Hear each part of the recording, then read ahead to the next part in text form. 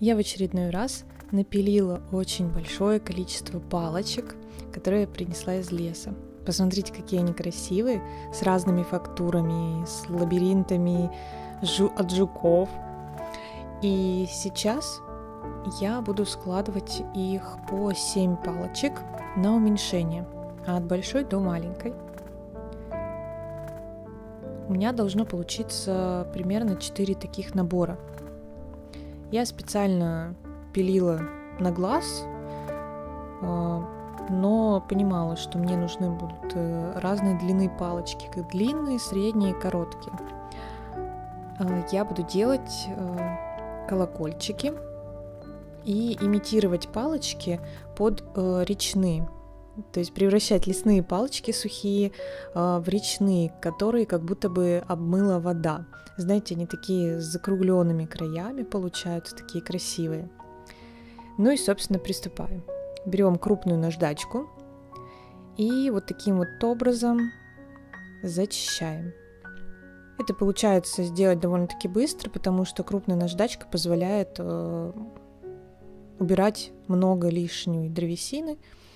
И края, вот смотрите, вот такие вот с обеих сторон становятся закруглые. Теперь нужно просверлить отверстие, только с одной стороны. Туда мы будем вставлять проволочку. У меня вот такая вот тонкая проволока. И делаем петельку. Берем плоскогубцы, чтобы удобнее было закрутить и получше. Можно сначала сразу вставить в дырочку и затем э, залить отверстие моим любимым клеем ПВА. Буквально капельку докапаем, чтобы клей не давал выскользнуть нашей проволочки. Ну, собственно, оно и так хорошо будет держаться. И второй вариант это также делаем отверстие. Также делаем петельку из проволоки. И затем мы нашу петельку э, макаем в ПВА и затем вкручиваем в дырочку. И таким образом тоже проволочка склеится с древесиной и хорошо будет держаться. Но на самом деле отверстие довольно-таки узкое, что все там держится хорошо. И меня не устраивает цвет, я хочу сделать э, темнее. Использую темную морилку.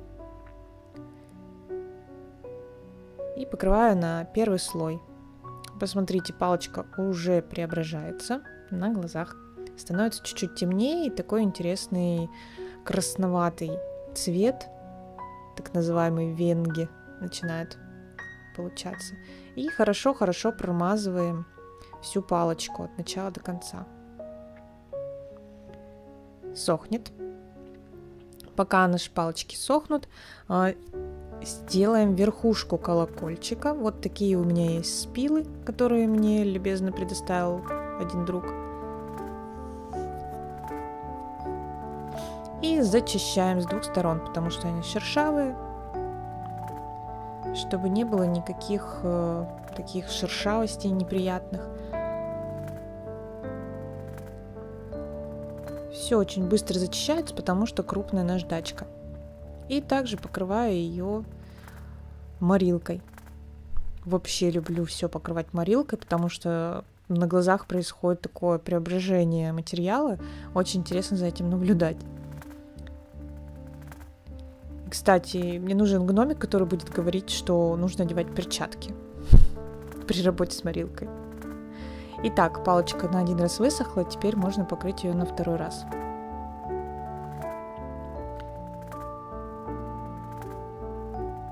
Позже я добавлю чуть-чуть потемнее морилку, и палочки будут уже хорошего темного цвета. Вот, посмотрите, что у меня получилось. И теперь с помощью ниток и деревянных бусин я соединяю верхушку колокольчика и палочки. Вот таким образом. Сверху фиксирую на узелок с помощью бусины, чтобы палочки закрепились. Завязываю на 3-4 узелка, чтобы хорошо держалось.